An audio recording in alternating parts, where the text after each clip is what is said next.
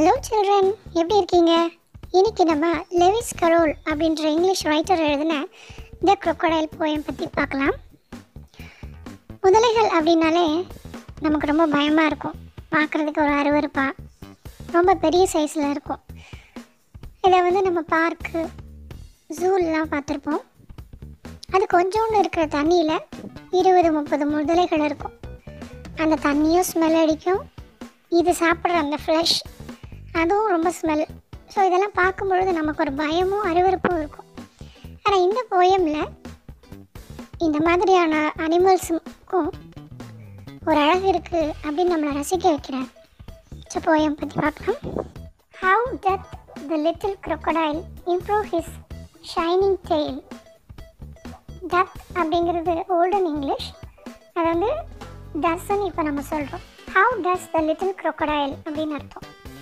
So அதோட டெய்லில் எவ்வளோ அழகாக இந்த பக்கமும் அந்த பக்கமும் ஆட்டி விளையாடிட்டு இருக்கு and pour the water of the Nile and every golden scale அந்த நைல் நதியில் விளையாடிட்டு இருக்கு அந்த வாழை இந்த பக்கமும் அந்த பக்கமும் ஆட்டும் பொழுது அதில் இருக்கிற அந்த ஸ்கேல்ஸ் அப்படின்னு சொல்கிற அந்த செதில்கள் போல இருக்க அதோட மேல் தோலில் தண்ணி வந்து ஏறி இறங்குது.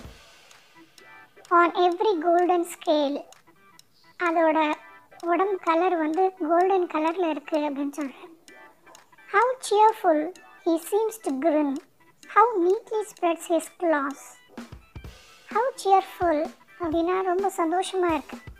ஹி சீம்ஸ் டு கிரின் அது பார்க்குறதுக்கு எப்படி இருக்குன்னு சொன்னால் வாயை அகல திறந்து பல்ல தெரிகிற மாதிரி சிரிச்சிட்டு இருக்கு.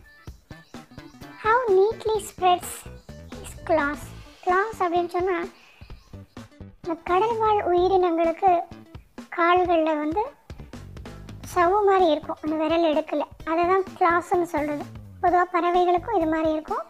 ஸோ அதை ரெக்கையை அடித்து பறந்து போகும். அந்த மாதிரி இந்த அனிமல்ஸும் நீரை வந்து துடுப்பு மாதிரி அந்த கால்களை துடுப்பு மாதிரி பயன்படுத்தி ஸ்விம் பண்ணும்.